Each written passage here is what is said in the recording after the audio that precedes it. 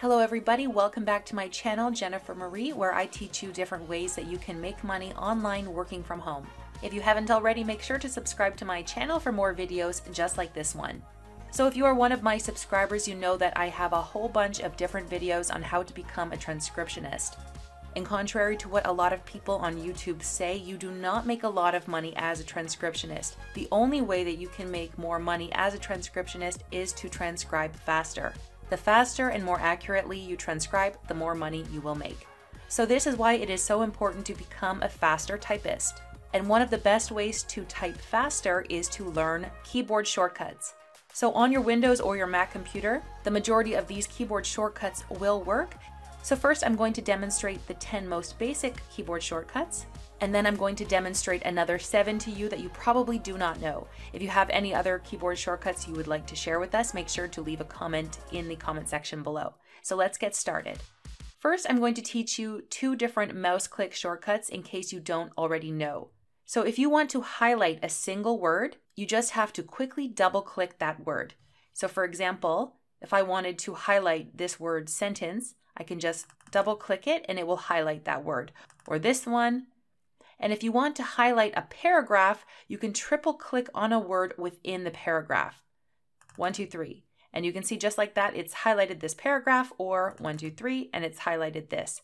So this is really helpful if you want to erase something quickly or redo a paragraph. And so now let's get into the keyboard shortcuts. So what is a keyboard shortcut? A keyboard shortcut is a key or combination of keys that execute a predefined command. So first I'm going to tell you about the 10 basic common keyboard shortcuts that you probably already know. The first one is Control A. So if I press Control A, you can see that this has highlighted both of these sentences, everything in this text box. The second one is Control C. I'm going to press Control C on my keyboard, and that has now copied everything that I highlighted. Now I'm going to demonstrate the third keyboard shortcut, which is Control V, and that has now pasted everything that I selected and copied.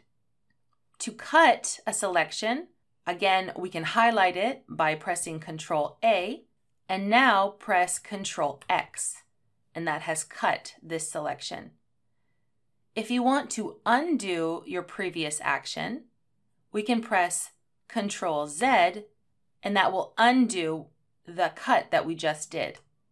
And to redo your previous action is Control Y. These keyboard shortcuts don't only work in Microsoft Word, but they also work when you're typing an email or when you're typing in your address bar or searching for something on Google. And they also work in the majority of transcription platforms as well. So the next few keyboard shortcuts I'm going to demonstrate using Google Docs. Again, you can use these in Microsoft Word or almost any transcription platform.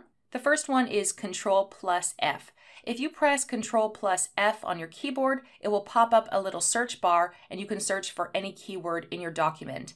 This is really helpful. Let's say if you spelled a name wrong and you need to find all instances of that name or of that keyword because you want to make some edits or changes, this will help you do that. The next one is Control plus B, and this will bold your selected text. The next one is Control plus I, and that will italicize your selected text. And finally, Control plus U, and that will underline your selected text.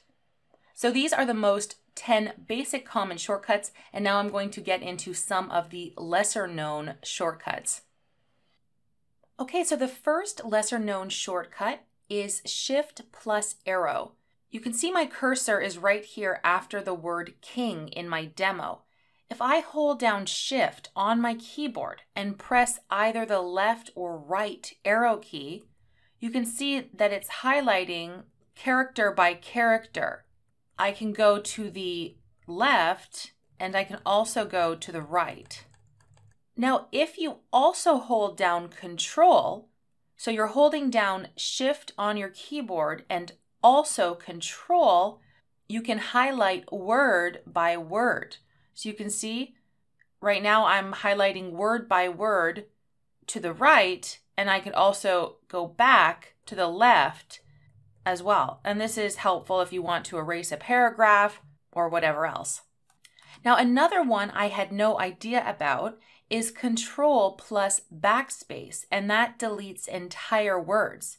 So again, let's say I was typing and I want to erase this word here, costliest, instead of going one at a time like this with my backspace, I can press control plus backspace and delete the entire word.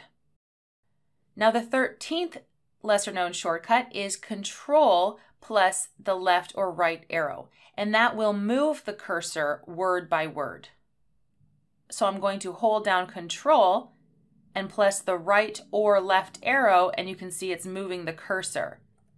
And again, like I showed you before, if you hold down shift as well, you can highlight these entire words. Okay, now we're going to look at the 14th lesser known shortcut, which is shift plus control plus the up or down arrow. And what this does is it highlights full paragraphs. So let's say I put my cursor right here at the end of said, and I'm holding down shift and control and my up arrow, and you can see it highlights that full paragraph. And if I go down, it highlights the paragraph below. I can go up and then up again, and it will keep highlighting paragraph after paragraph, either in the up or down direction, depending on what arrow you press. The next keyboard shortcut is number 15. You can press delete instead of backspace. So right now, let's say I have my cursor right here after then. If I press backspace, it will erase the N. However, if I press delete instead of backspace, it will erase the character in front of the cursor instead of going back. The next keyboard shortcut is Control plus Delete, and that deletes the full word to the right of your cursor. So again, Control plus Delete. You can see it deletes all of the full words to the right of your cursor. And the last lesser known shortcut is Control plus Shift plus V. And what this does is it pastes as plain text. This is very important, especially when you are doing transcription work or something else. And the reason for this is that you want to make sure you are pasting plain text and not all of the formatting of whatever it is that you are pasting. So let's say I want to copy this word of the day. So I've got this and I've pressed Control C to copy and I want to paste that into my Google Docs uh, document. If I just go Control V to paste, well, you can see that it has pasted all of the formatting that matched, you know, with dictionary.com and I don't want that formatting. I want it to be plain formatting that will match my document as you can see here. So I'm going to press Control Z to undo that and what we're going to do instead of just control V is control plus shift plus V. And you can see that it has pasted it in the same formatting that I already have in my document. And that way you're not going to have inconsistencies of font size, font type, the alignment, everything is going to match your document and you aren't going to run into any difficulties. Okay guys, so I hope you enjoyed this presentation on the 17 most essential keyboard shortcuts that you need to know to type faster.